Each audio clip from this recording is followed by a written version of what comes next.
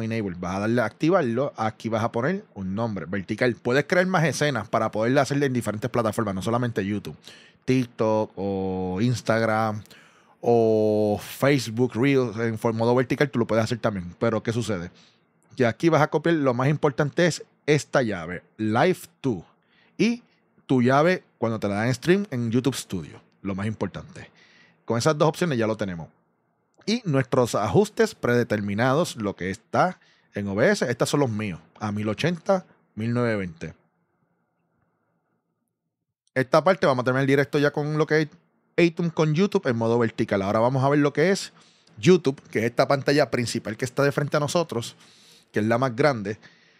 Esa vamos a trabajarla ahora mismo, que lo que es es, vamos a ajustes. Si lo vamos a hacer en el modo sin utilizar Atom y lo vas a querer utilizar en este modo regular, lo que vas a hacer es por el strip donde dice YouTube RTMP, vas a poner Custom y vas a poner la llave que te dijo ahorita, Live 2.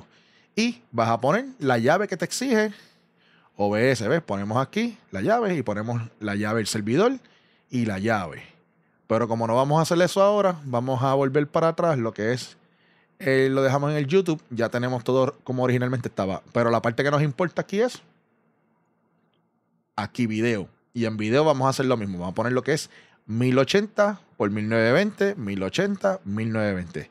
Mi recomendación, gente, mi recomendación vas a hacer, lo que vas a hacer es crear un profile vertical y una escena para modo vertical. Mi recomendación si lo vas a hacer desde el OBS regular. Si vas a utilizar Atom para capturar highlights, mi recomendación sigue siendo la misma. Usa los highlights de Atom mientras utiliza el streaming regular de, lo que es YouTube normal. Y así, pues lo podemos realizar, gente. Muchas gracias por ver este video y recuérdate, si te gusta este contenido, dale like y te va a ayudar un montón. Nos vemos en la próxima.